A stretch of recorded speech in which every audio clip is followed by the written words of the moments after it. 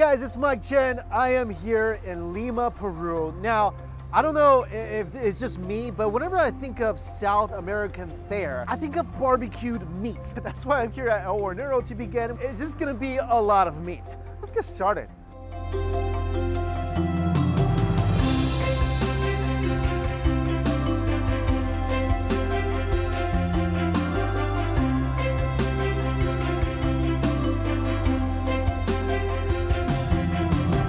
What this place is known for is the parrilla. And parrilla means grilled meats, but here it's, it's just a massive platter of all sorts of different cuts of meat cooked in different ways. And this is just the first stop of this meat tour. So you know what? Bring it on. Oh, here we go. Yeah, here we go. I'm gonna, wow. That's all for me. I don't know why it's all, all the way over there. Oh, thank you, thank you, thank you. Uh, Gracias. Here's what we got. If we're giving points for presentation here, this is this is like a 20 out of 10. First of all, it's a personalized stove with just a mass of mixed meats on top. Wooden charcoal, heating everything up. I kind of made a mistake. I got everything medium. I, sh I should have got a medium rare because it's still cooking as we speak. I see a lot of a lot of different types of meats here. Steak, I see beef hearts, blood sausage, chorizo, chicken. This is a meat lover paradise on a plate. Let's just get started with a nice piece of steak. Ah. You smell so yummy. Guys, just remember, that's something you should only say to food and never on a date. Nice, looks like it's still a little medium. Oh, wow, that is tender.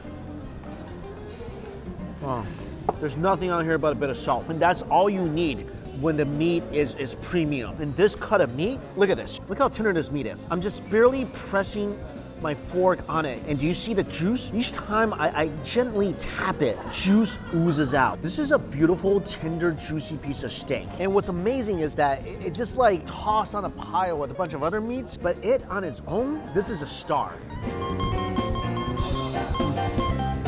It's so good. I'm gonna grab this piece. This has been uh, more directly on the heat source, and that's why it's cooked a little more than I like. This is more like medium well.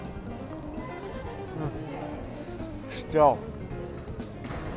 that's delicious. You know when meat is good? When you when you just can't stop eating it. Like you can't. This piece I got my eyes on because it's like full of seasoning here. Mmm, tons of garlic. Whoa! That, that cut really easy. I think this is cow kidney. Oh. Oh, that's great. Not gamey. It's slightly organy. That's probably why they got all the garlic on this. It's slightly crunchy. Mm. Wow. Very charcoaly. I don't think I ever had this. But if you like innards or organs, give this thing a try. Oh, there's a pork chop under all this. I, I love, oh, did I even need to slice this? I don't think so.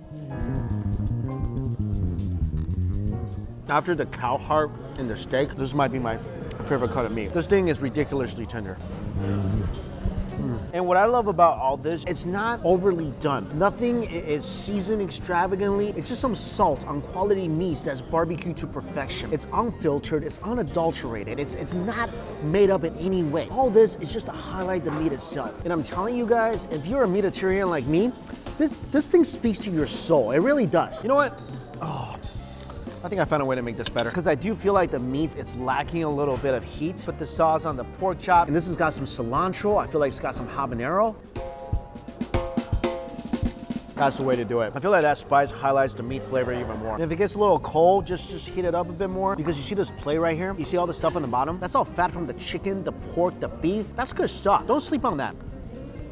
Wow, that's why I love this. It's delicious and it's a lot of fun. This restaurant is known for this, and trust me, they knocked this dish out of the park. All right, just a few more pieces of meat, and then we'll head off to location number two.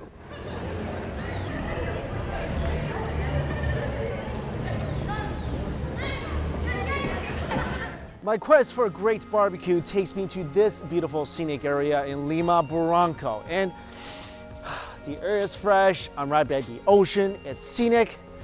It's a great night for some barbecued meats.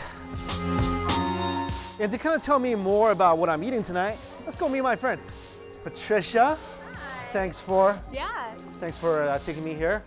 where are we? Okay, so we're on Tio Mario. It's a very famous restaurant in Barranco. Uh-huh. We're gonna eat beef heart along with some potatoes and corn. So yeah, sure, let's go in. Let's do it. It's also with a beautiful view. It has the the bridge there. Uh, it's called this the bridge of the sides. So you should actually cross the bridge without breathing. Wait, you should cross this bridge without breathing? Yeah, and at the same time, make a wish. I could run across. I think people like get prepared for that. I'll do it after dinner. I'll make a wish. I'll do it after dinner. We'll see how far I get. I don't know how much. Uh, I don't know how much air I have in my system with all the meat that, that we're eating. So we're, we're, we're eating. Uh, was it ant- anticucho? Anticucho, yeah. What is that? Beef's heart. And this is a very common dish in Peru. Um, it's not like a dish. It's more like an entry. It's Uh-huh. more like an appetizer. It's an appetizer. Yeah. Beef hearts and appetizer. What's the main main course? The entire cow. Es de cuatro palitos. Sí. Sí. What did we end up ordering? I heard like cuatro or something. So four four four sticks. And we're getting anticucho. What else? Um, gizzards. Gizzards. Great. Then two types of cow's intestines. Cow intestines, love it. I love intestines. I don't know. I mean, they're crunchy. I had them before. Okay. Do you like cow intestines? Um, not really. They're too chewy for me, for my taste. But love it. I can't wait. That's a lot of beef. yeah, that's four palitos, four sticks. I love it when things are cooked on a skewer. I feel like ever since I was little, um, the best, most delicious food I had in China were on skewers. And now every time I see a skewer, I'm just like, yummy. I'm just gonna give you one right here.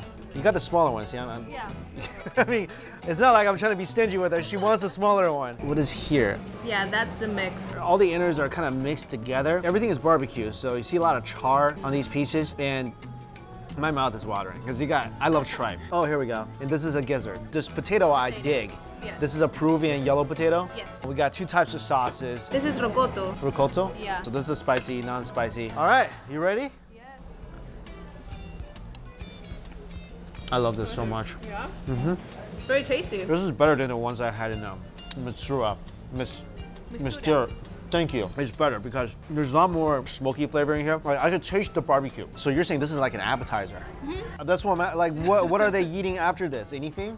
No, this is supposed to be a family dish. Uh-huh. So like for four people. This right now is for four people. Yes.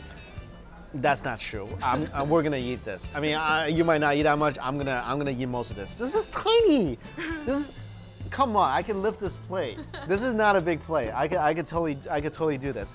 But I love the beef heart because it's so lean, but yet it's not like you know it's not hard. It's actually quite tender. Mm-hmm. It tastes like a borderline between between beef and gizzards. Mm-hmm. And you ready to try a gizzard? Here you go. Here's a gizzard. Thank you. I, I love gizzard. Ah. Yeah. I love it. There's really no foul taste to it. Mm. I mean, it doesn't taste like innards. If you can imagine like crunchy chicken, not like you know crispy chicken like you know KFC or anything, like crunchy meat. Gizzard is, is that. It's just really crunchy meat. Same thing with the intestine and the tripe. So besides the beef heart, it's all like crunchy meats, right? How did they cook this? I think they barbecue char grill this, right? Mhm, And it's all together. So uh, it depends on the intensity of the fire. For example, this is a 10 minute dish. Uh-huh. And To cook. yeah. How come it took like 30 minutes for it to come here?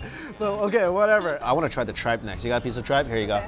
Have a piece of tripe. That's a nice char tripe. I, I took care of you right there. That's a beautiful piece of tripe. Those of you who never had tripe before, tripe is one of my favorite hot pot ingredients of all time. Wow. First time ever having tripe like that. Mmm, I'm jealous of you. You gotta have this anytime you want. Hmm. It's a little spicy. A little bit. You can taste the fire. It's like I'm chewing fire. What's great about this is, okay, usually when I eat pork intestine, it's smelly. It's a little smelly. You ever had pork intestine before? No. It's a little gross. I mean, it's delicious, but it, you chew it, it has a little, like, pungent aftertaste to it. This is so clean. This just tastes like beef. I mean, I wonder if they do anything special to the cow because it- there's really no bad aftertaste whatsoever. I mean, I love everything here. Oh, gizzards, and that sauce. That's a winner. I love the potatoes. You lived in the States. Do you remember the potatoes there? Only French fries. Yeah, so you remember it's not as creamy as this. No, definitely. I miss my food so much. This is, yeah, and this is like, this is a whole different breed of potatoes. Yeah. Hmm, I'm gonna take a piece. I'm gonna put this on the corn. I'm gonna dip it in some hot sauce. So just put everything on your plate. Okay, but I'm trying new things here, and I just want to like put that on the potato. How often do you eat this? Actually, this is my first time in the year. In the year? Yeah. It's like an annual tradition for you. No, no, no. See, there's a contrast here.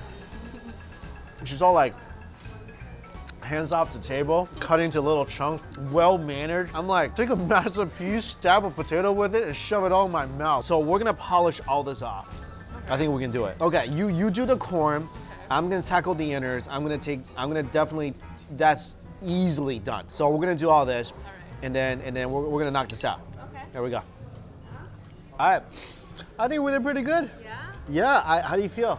Yes, I well, I was able to finish at the same time as you, so yes. I feel, I don't know. It's eating a lot of cow stomach um, makes my stomach a little weird. I don't know if that's because I'm eating stomach uh, or whatever the reason. I started off really strong. I mean, I'm just like eating it. I'm just like, you know what? I feel pretty good. And after all of a sudden, you know, it's kind of like the, the food punches you in the stomach a little bit, uh, literally. Um, the stomach punched me in the stomach. Uh, but thank you so much for, for introducing me to, to this cuisine and taking me here. Um, I'm gonna go run across that bridge now. And don't don't forget to make a wish. Let's go make a wish. All right, I am at one end of the Bridge of Sighs. Now, if you're wondering why it's called the Bridge of Sighs, it's really interesting. Um, apparently, uh, long time ago, poets used to come here to try to woo women, and that's why it's called the Bridge of ah, Sighs. Uh, no one really knows why. I don't really know. Uh, my friends don't really know why you have to hold your breath and run across, and that grants you a wish. But you know what? Tradition is tradition. Let's do it. I have a wish in mind already. I can't tell you guys, obviously. It is food related. I can't tell you. Otherwise, it won't come true. Otherwise, I won't get to eat. I've said too much already. Ready?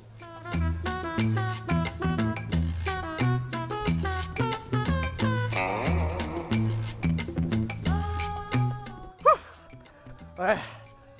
There we go. My wish is granted. Yeah.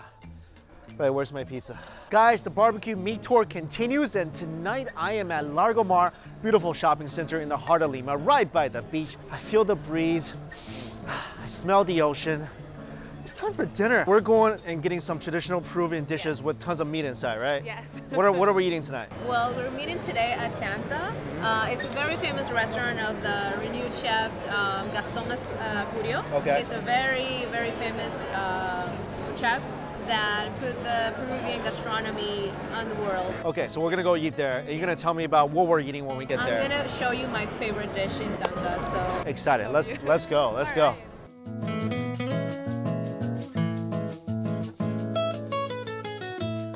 Patricia, you said this is your favorite dish. yes, lomo saltado. Lomo saltado. Saltado. Saltat. Sorry, I. Okay, what is it? It's a beef stir fry with onions and uh, tomatoes. It's also served with French fries and with rice and corn. Okay, I- I'm excited to try it. Let's get it. It smells incredible. Let's share a little bit. Give you the first bite though. You want to give me the first bite? I can't. Okay, well, I've had this dish too way too much. okay, all right.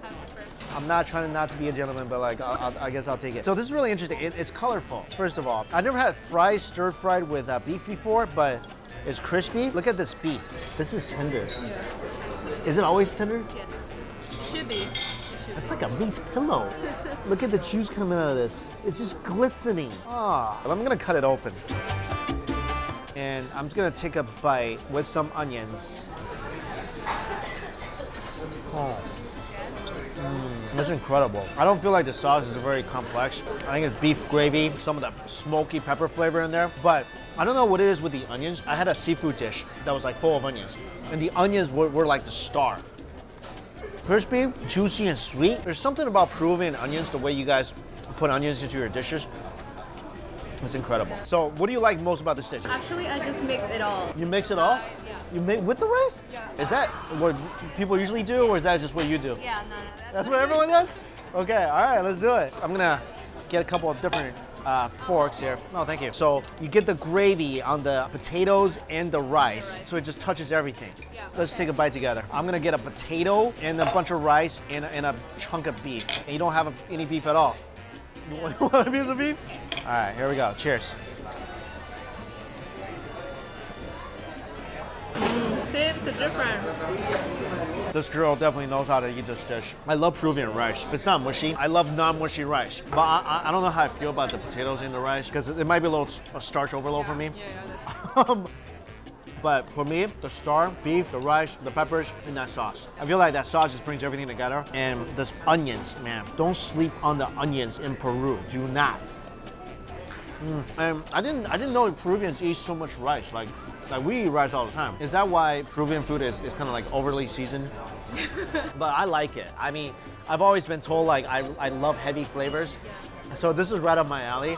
I think this dish is actually kind of refreshing because you got that nice crunch of the onions. We haven't tried the tomatoes yet. I'm gonna try a piece of the tomato. So the tomato is nice and juicy, sweet. I think this dish, like you said, mix it all together, kind of make the flavor kind of just dance around, form a uh, kind of synchronized performance in your mouth when you take a bite. That's a great way to eat this dish. So guys, yeah, that was a lot of meat. I, I did these meals throughout just like a couple days, so I, I'm up to here with beef. I am officially under the influence of beef. So I'm slurring my speech or talking really slow. That's that's the reason. I'm back at the beach because I feel like I need to take a walk or maybe maybe a swim just to digest everything. But with that said, it has been some fantastic meals and I feel like I learned a lot as well. As always, all the places I went to is listed for you guys in my description box below. Thank you all so much for watching. And until we eat again, I'll see you later.